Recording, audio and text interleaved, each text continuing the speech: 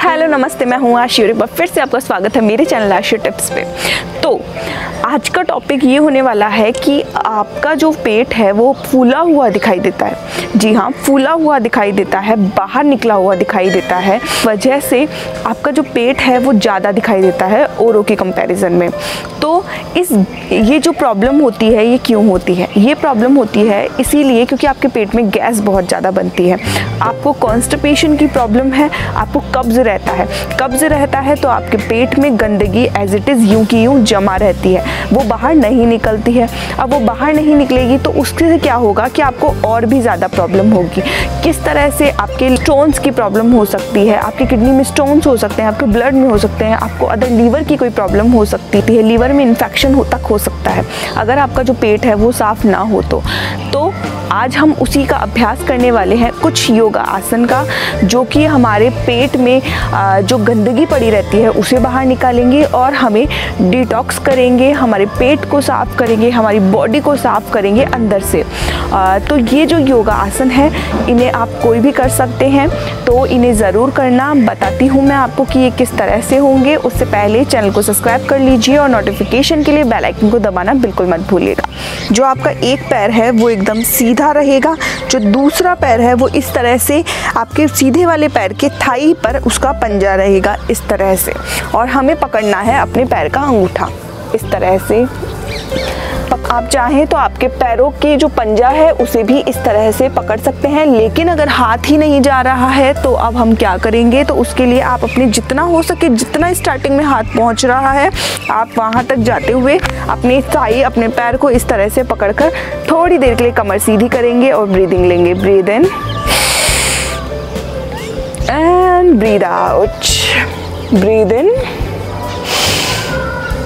and breathe out ठीक है? Same चीज़ दूसरे पैर से भी रिपीट करेंगे। मैं ज़्यादा समय नहीं ले रही हूँ किसी भी आसन में, लेकिन आपको लेना है। हाथों को इस तरह से पकड़ लीजिए, पंजों को। कमर सीधी। Breathe in and breathe out अब इस तरह से पैरों को सीधा कर लीजिए। अब हम करेंगे अगला आसन। तो उसके लिए आप क्या करेंगे? इस तरह से अपने अंगूठों को पश्चिमोत्तासना है। आप अपने पैरों को आगे की तरफ़ पकड़ने की कोशिश करेंगे। यानी इससे आपका जो पेट है, वो दबे, आपका स्टमक जो दबे और हमारा जो पेट है, वो साफ़ होने में मदद मिले। तो आप क्या करेंगे? इस तरह से आगे की तरफ़ झुकेंगे। इस तरह से कोशिश करनी है। जिन लोगों से कम होगा तो वो इस तरह से भी कर सकते हैं। अपने पैरों को पकड़ लीजिए। अपने अगर आपके हाथ इतने जा रहे हैं तो इतने कर लीजिए। इतने जा रही हैं तो थोड़ी देर के लिए इसी तरह बैठे रहिए। इस तरह से है। मैं पूरा करके दिखा रही हूँ। इस तरह से।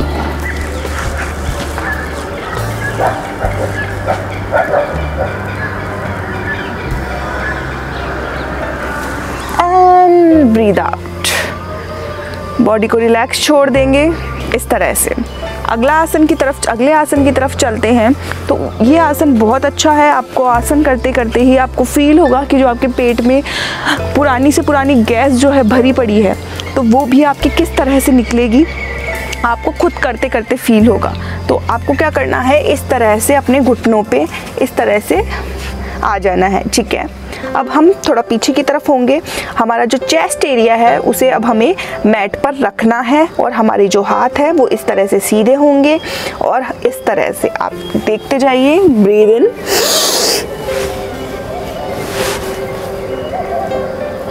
थोड़ी देर के लिए इसी तरह रहेंगे।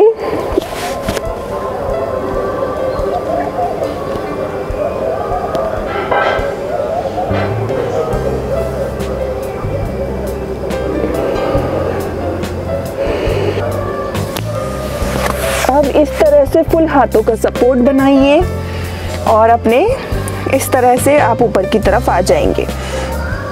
ठीक है? थोड़ी देर के लिए हम कैट एंड काउ पोज करेंगे ताकि हमारी जो स्पाइन है, जो रीढ़ की हड्डी है, वो भी ठीक से काम करे और उसमें भी चिकनाहट जो है बनी रहे। ब्रीद इन इस तरह से ऊपर की तरफ़ सर करेंगे। ब्रीद आउट में सर नीचे की तरफ़ जाएगा। कमर जो है अंदर की तरफ़। Breathe in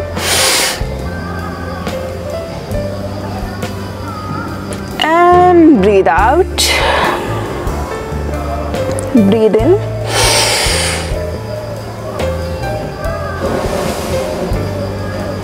And breathe out. Breathe in. And breathe out. ठीक है, यहीं से हम अगले पॉस्चर की तरफ़, अगले स्टेप में चलते हैं। तो उसके लिए क्या करेंगे? अब हमारा एक पैर जो है, हम आगे की तरफ़ लेंगे। ठीक है इस तरह से। अब आप लोगों से जितना हो पाए आप उतना आगे की तरफ़ लेंगे और थोड़ी देर के लिए इसी एक पॉस्चर पे इसी एक आसन पे आप बैठे रहेंगे। इस तरह से कोशिश करिएगा कि जो आपका पैर का पंजा है वो सामने की तरफ़ देखता हुआ होना चाहिए। बॉडी को प्रेशर मत दीजिए हल्की हल्की ब्रीदिंग नाक से लेते रहिए और नाक से ही हमें छोड़ते रहना है। मुँह से हमें सांसों को बाहर नहीं निकालना है। अगर आपसे नाक से नहीं हो, हो रही है तो अपनी बॉडी को पूरा ढीला छोड़ दीजिए। Breathe in breathe out, breathe in, and breathe out. दूसरे पैर से भी सेम चीज़ रिपीट करेंगे, इस तरह से। एक पैरों को इस तरह से आप बदल लेंगे, और अब दूसरा पैर जो है वो आगे की तरफ़ रहेगा। थोड़ी देर के लिए breathing breathe in and breathe out breathe in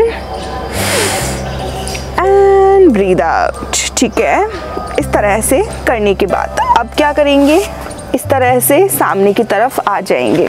अब हम करेंगे एक आसन, जो कि है मलासन। अब मलासन के फ़ायदे जो है इतने हैं कि मलासन एक ऐसा अकेला आसन है, जो कि अगर आप ये अकेला आसन भी कर लेते हैं तो ये आपके मल, नाम में ही मलासन है तो मतलब कि ये आपके पेट की गंदगी को साफ़ करता है। आपके मल को जो है बाहर निकालता है और आपके बॉडी को अंदर से साफ़ करता है। तो ये किस तरह से होगा और जिन लोगों से नहीं होगा, नहीं बैठा जाता है मलासन में, वो किस तरह से बैठेंगे, वो जानेंगे। तो उनका एक तरीका, ये सिंपल तरीका ये है, एक तकिया रख लीजिए और अपने हिप्स के नीचे तकिए को रख दीजिए। आसन में किस तरह से हम बैठेंगे, वो देखते हैं। तो मलासन में बैठने के लिए इस तरह से आप उकड़ू बैठ जाएँगे, ठीक है?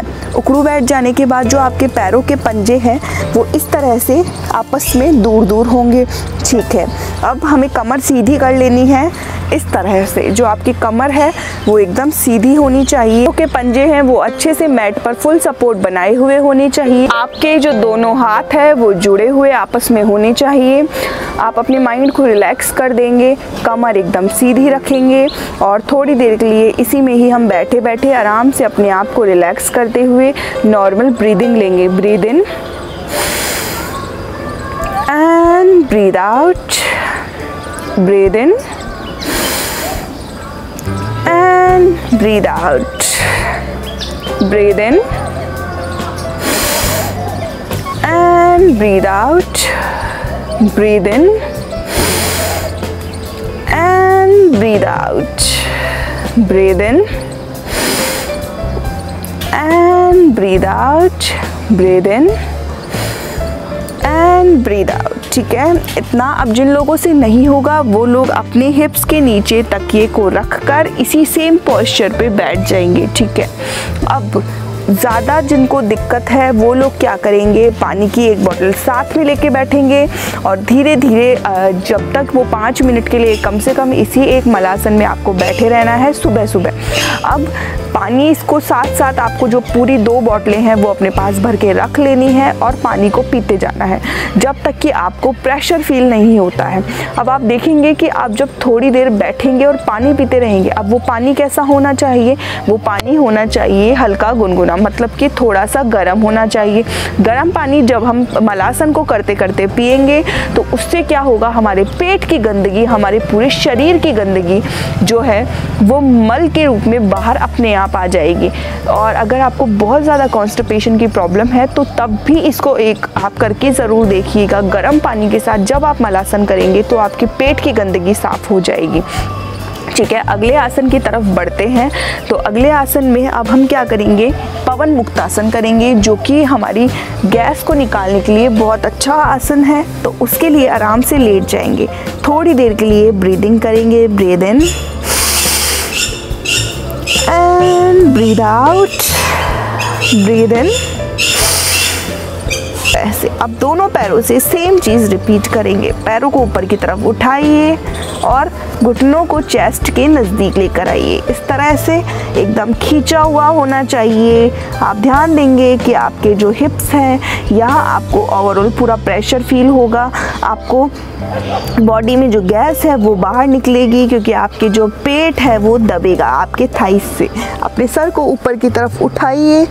थोड़ी बहुत नॉर्मल ब्रीदिंग लेते रहेंगे।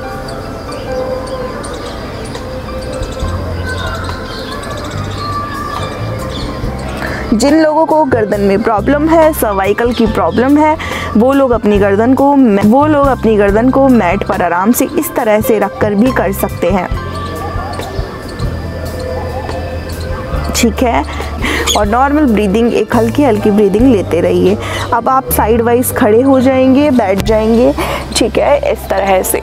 अब ये जो आसन है, वो अगर आप डेली बेसिस पर करते हैं, और मैंने आपको कम टाइम के लिए बताया है, लेकिन आप इसे बहुत अच्छे से धीरे धीरे अपने माइंड को रिलैक्स करते हुए टाइम लेते हुए करते हैं तो आप देखेंगे कि आपको कितने अच्छे रिजल्ट्स मिल रहे हैं। लेकिन इसी के साथ अच्छे से आप डेली अगर करेंगे, तभी आपको रिजल्ट्स अच्छे मिलेंगे, और एक और बात कॉन्स्टिपेशन की प्रॉब्लम आमतौर पर तब होती है जब हम लेट उठते हैं। अब लेट उठते हैं तो इससे क्या होता है कि हमारी बॉडी में, हमारे पेट में प्रेशर नहीं बन पाता है।